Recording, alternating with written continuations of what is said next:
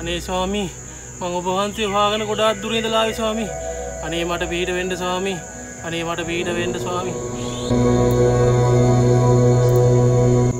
කතා කරන්නකෝ ස්වාමී. ඔව් දරුවා.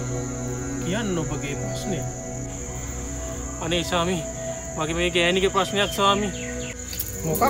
ගෑනිගේ ප්‍රශ්නයක්? මට ගෑනිත් එක්ක ඉන්න බෑ ස්වාමී. උදේ ඉඳන් රෑ වෙනකන් ඉවරයක් නැහැ කෑ ගහනවා ස්වාමී.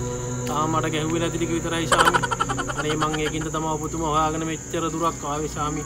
අනේ මට පුළුවන් නම් පිහිටක් වෙන්න ස්වාමී.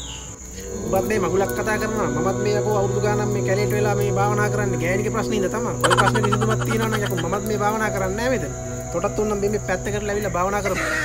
අනේ නිකන් ශාමි නිකන් පිස්සු කෙලින්න බෑ ශාමි.